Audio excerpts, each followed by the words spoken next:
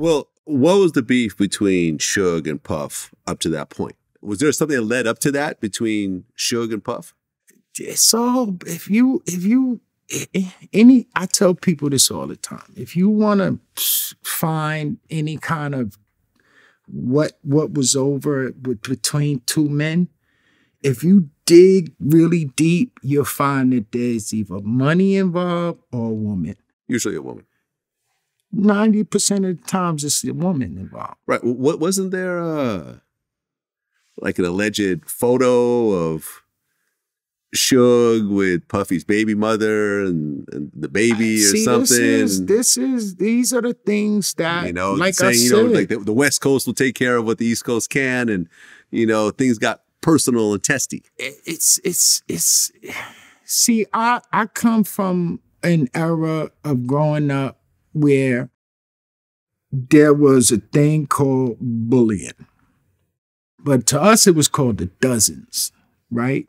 Your mama's so fat, shit, mama's so black, right? And and and and if you competed, you know, it was it was a you know, it was right to passage, rite? So, but how much can you take, right? So, when when when hip hop started, it started from the DJ, right, battling against another DJ, and the MC was the guy who was hyping up the DJ.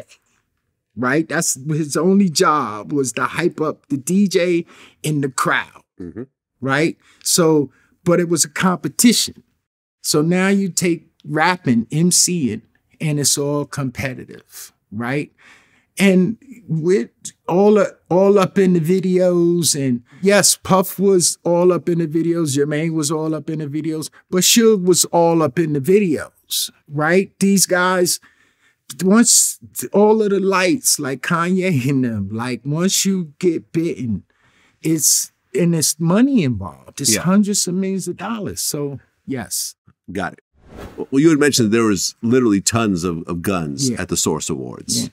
and because of that, people were getting stuck up that night. Yeah, it was a lot of people. It was a as a it was a domino effect from that night, man. Like Brooklyn is sad because you know it's it's it's I've seen these moments in my career in in being in the streets or whatever, where there's you get this feeling of a darkness comes over the space, right? And you just know that something's gonna happen. And that's the way we were raised, like that intuition, right? So now it's it's it's it's it was as a result, it was it was like I said, everybody was vying for the money.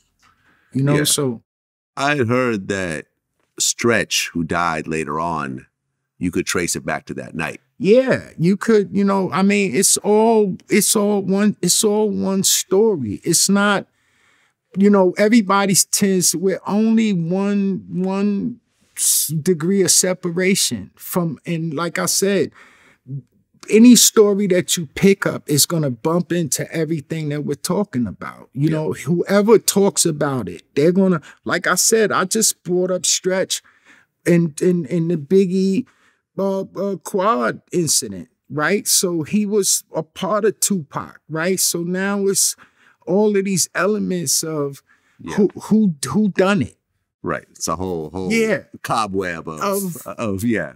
Who did what, and it's it's like yo, who's responsible? You know, so it's you know we we'll get to the bottom of who it is.